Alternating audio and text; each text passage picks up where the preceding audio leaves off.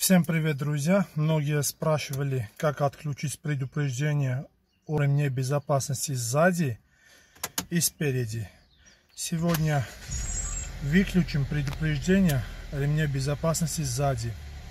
Когда вы трогаете автомобиль с места, то сразу предупреждаю, что сзади не пристегнутый ремень безопасности, либо открывается задняя дверь.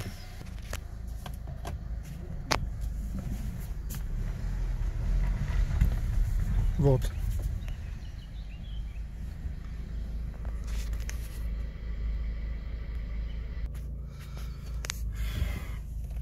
Выключается через 30 секунд, и это мешает. Вот, допустим, сейчас выключится. И если откроем задний дверь и закроем, то опять будет предупреждать.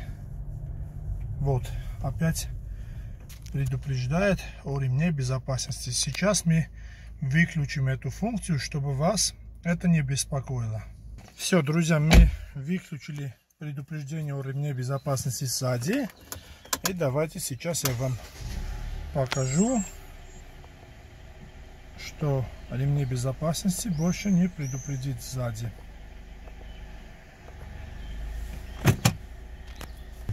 И все. Больше не предупреждают. Даже вот открываю дверь сзади.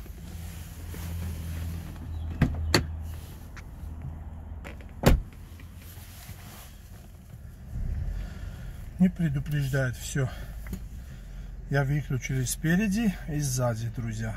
Всем спасибо и удачи на дорогах.